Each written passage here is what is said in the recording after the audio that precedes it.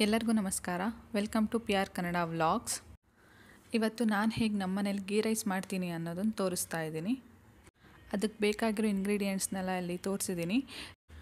ತುಂಬ ಸಿಂಪಲ್ಲಾಗಿ ಹೇಗೆ ಗೀ ರೈಸ್ ಮಾಡೋದು ಅನ್ನೋದು ಅನ್ನೋದನ್ನ ನೋಡ್ಕೊಳ್ಳೋಣ ಮೊದಲಿಗೆ ಒಂದು ಜಾರ್ ತೊಗೊಂಬಿಟ್ಟು ಅದಕ್ಕೆ ಆ- ಐದರಿಂದ ಆರು ಹಸಿಮೆಣಸಿನ್ಕಾಯಿ, ಬೆಳ್ಳುಳ್ಳಿ, ಶುಂಠಿ, ಕೊತ್ತಂಬರಿ ಸೊಪ್ಪು ಹಾಕಿಬಿಟ್ಟು ರುಬ್ಕೊಂಬರಬೇಕು. ಸ್ವಲ್ಪ ನೀರು ಹಾಕಿ ರುಬ್ಕೊಳ್ಳಿ.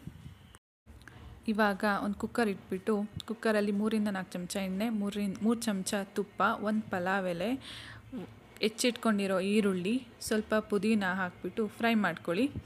ಇದೆಲ್ಲ ಫ್ರೈ ಆದಮೇಲೆ ನಾವು ರುಬ್ಬಿಟ್ಕೊಂಡಿರ್ತೀವಲ್ವ, ಅದನ್ನು ಹಾಕಿಬಿಟ್ಟು ಫ್ರೈ ಮಾಡ್ಕೊಳ್ಳಿ. ರುಬ್ಬಿಟ್ಕೊಂಡಿರೋ ಜಾರ್ಗೆ ಸ್ವಲ್ಪ ನೀರು ಹಾಕಿಬಿಟ್ಟು ಮಿಕ್ಸ್ ಮಾಡಿ ಹಾಕಿ, ಜೊತೆಗೆ ಒಂದು ಅರ್ಧ ಚಮಚ ಅರಿಶಿನ ಪುಡಿ ಹಾಕಿ ಕಲರ್ಗೋಸ್ಕರ ಎಲ್ಲ ಹಾಕಿ ಚೆನ್ನಾಗಿ ಫ್ರೈ ಮಾಡಾದಮೇಲೆ ಅದು ಹಸಿ ವಾಸನೆ ಹೋಗಬೇಕು. ಆವಾಗ ಅಕ್ಕಿ ಹಾಕಿ ಎಲ್ಲ ಮಿಕ್ಸ್ ಮಾಡ್ಕೊಂಡಾದ್ಮೇಲೆ ನಾವು ಅಕ್ಕಿ ಯಾವ ಲೋಟದಲ್ಲಿ ತೊಗೊಂಡಿರ್ತೀವೋ ಅದರಲ್ಲಿ ಒಂದು ಮುಕ್ಕಾಲು ಲೋಟ ನೀರು ಹಾಕಬೇಕು. ನಿಮಗೆ ಸ್ವಲ್ಪ ಮೆತ್ತಗೆ ಬೇಕು ಅಂದರೆ ಅನ್ನ, ಎರಡು ಲೋಟ ನೀರು ಹಾಕಿ. ಇವಾಗ ಒಂದು ಅರ್ಧ ಒಳಕೆ ನಿಂಬೆಹಣ್ಣಿನ ರಸನ ತಗೊಂಬಿಟ್ಟು ಅದಕ್ಕೆ ಹಾಕಿ ಮಿಕ್ಸ್ ಮಾಡಿ.